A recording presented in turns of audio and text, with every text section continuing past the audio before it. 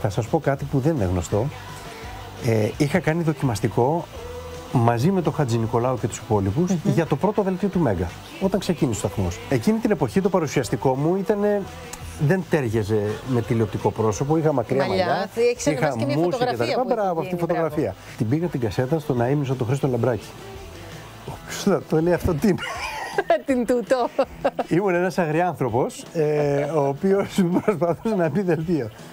Και κόπηκα προφανώς και κόπηκα γιατί δεν ήταν παρουσιαστικό αυτό ε, παρουσιαστή.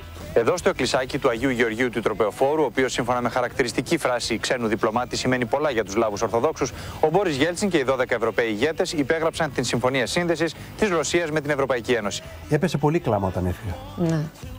Ήταν, ε, γιατί ήταν και ξαφνικό.